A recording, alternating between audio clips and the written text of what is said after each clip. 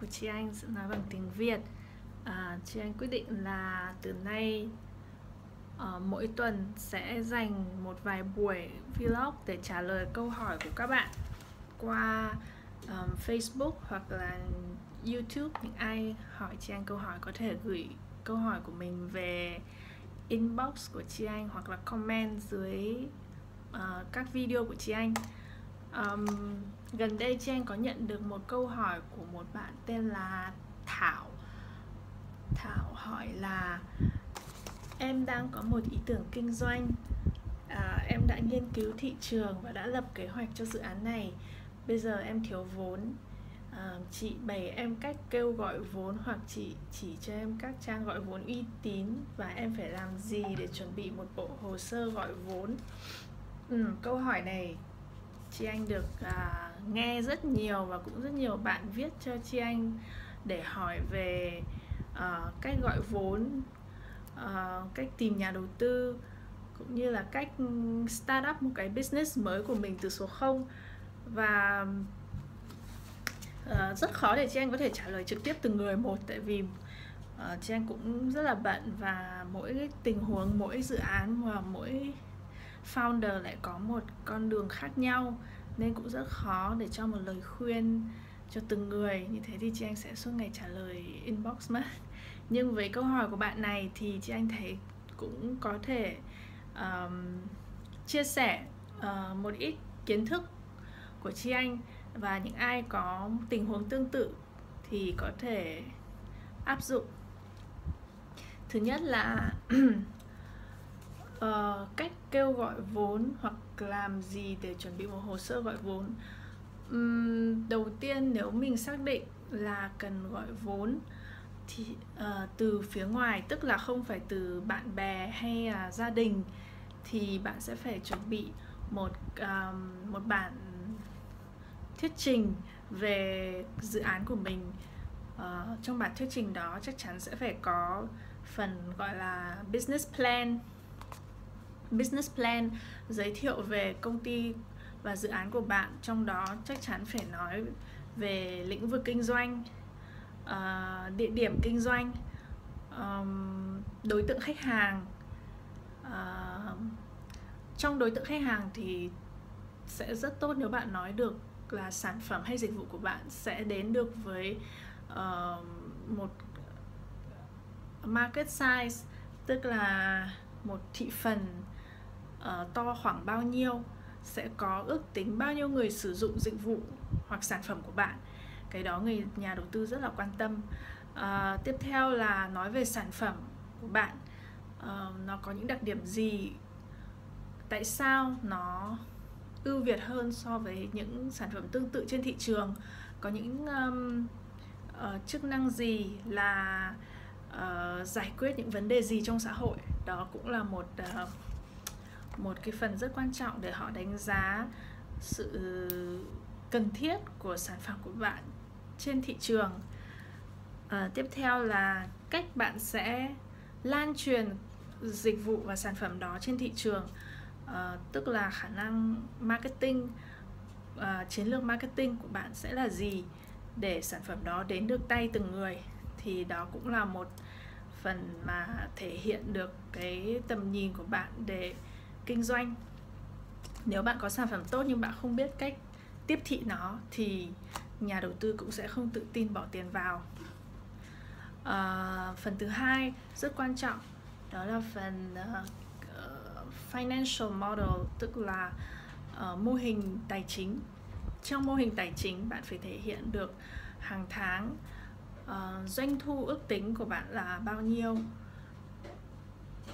chi phí ước tính để hoạt động để vận hành là bao nhiêu và sau đó trừ đi nhau để ra lợi nhuận ước tính, net profit của dự án của bạn là bao nhiêu hàng tháng?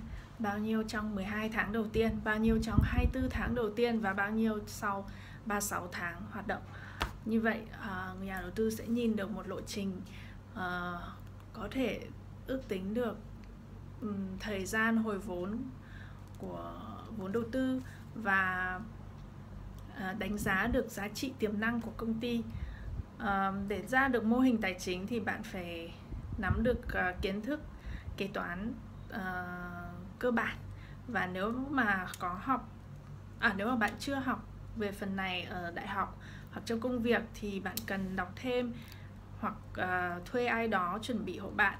Vì nếu mình không có phần này thì cũng sẽ rất khó tìm được nhà đầu tư nào tin tưởng vào dự án của bạn khi họ cảm thấy Ờ, đồng tiền họ bỏ vào không có một chỗ không có một sự quản lý rõ ràng. Và mình không thể hiện được một cái kế hoạch về cách quản lý dòng tiền và tài chính của mình. À, tiếp theo là hồ sơ pháp lý. Bạn cũng sẽ phải chuẩn bị để chứng minh rằng bạn là chủ nhân của công ty hoặc của dự án.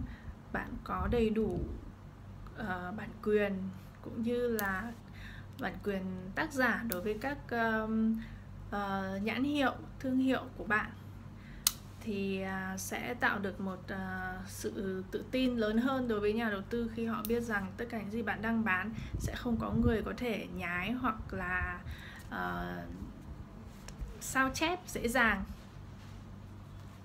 Tiếp theo bạn đó bạn thảo có hỏi tiếp là um, có trang nào để tìm uh, có trang nào để tìm gọi uh, các các nhà đầu tư các trang gọi vốn uy tín? Um, thực chất là nếu hiện tại chưa chị anh chưa biết có một trang web nào ở Việt Nam để liên kết giữa người uh, startup và nhà đầu tư. Chứ anh tin là hiện tại đang có một số bên phát triển một hệ thống này. Còn hiện tại thì bạn có thể trước tiên là đi các uh, sự kiện um, giao lưu ở những uh, nơi như tổ ong uh, app app coworking space uh, những những cái chỗ coworking mà có nhiều người startup như bạn uh, hay đến để giao lưu cộng với có những cái chương trình um, thuyết trình pitching với các quỹ uh, đầu tư hay diễn ra tại đó thì bạn có thể đến tham dự. Đầu tiên để hiểu về tác phong cũng như uh, cách làm việc nói chuyện của những nhà đầu tư uh, quỹ đầu tư có tiếng. Thứ hai cũng là để giao lưu tương tác và tìm hiểu xem những người doanh nhân khác họ trình bày về cái business của họ như thế nào. Um, thứ hai là bạn phải ít nhất là trên mạng xã hội cũng như trang cá nhân hoặc trang web của bạn trang web của công ty bạn phải thể hiện được rất rõ là bạn đang tìm đối tác và có đầy đủ những thông tin như chị anh vừa nêu. À, trừ những thông tin uh, nhạy cảm thì những thông tin giới thiệu về kinh doanh phải có rất là đầy đủ để dễ dàng um, tìm được những nhà đầu tư họ tình cờ uh, tìm thấy qua những uh, uh, trang như trang blog, Facebook hoặc là LinkedIn. LinkedIn cũng là một trang web rất tốt để bạn tìm các uh, mối quan hệ chuyên nghiệp uh, để giới thiệu về bản thân và um, cũng để bạn tạo được mối quan hệ với những người trong giới đầu tư có thể họ sẽ giới thiệu cho bạn những người quan tâm đến dự án của bạn đang làm tóm lại là bạn có gì phải phô hết ra và show hết trên tất cả các kênh xã hội cả chuyên nghiệp lẫn cá nhân. Và tin tưởng rằng người đối tác phù hợp với mình sẽ tìm thấy mình. Còn nếu không thì bạn sẽ phải tìm cách tự kinh doanh một cách uh, nhỏ nhỏ lẻ hơn để tự lấy doanh thu uh, chi cho những chi phí của mình. Và khi nào um, có một cái nền kinh doanh ổn định bạn vẫn có thể gọi vốn. Và lúc đấy cái khả năng gọi được vốn của bạn sẽ còn tốt hơn là lúc bạn mới chỉ có một uh, kế hoạch trên giấy.